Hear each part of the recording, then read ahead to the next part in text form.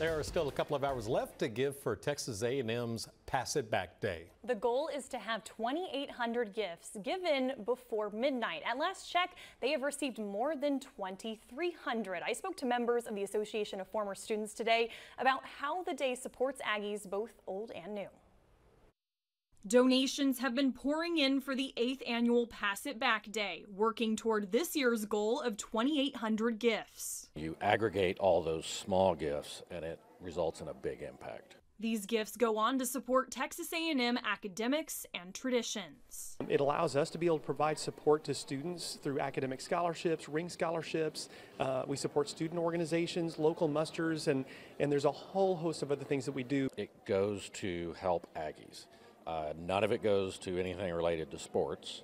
It's all about uh, Aggie traditions, uh, Aggie values, uh, Aggie excellence, and keeping the Aggie spirit alive. Pass It Back Day is unique in that it stretches your donations further with matching funds, in turn, making a larger impact.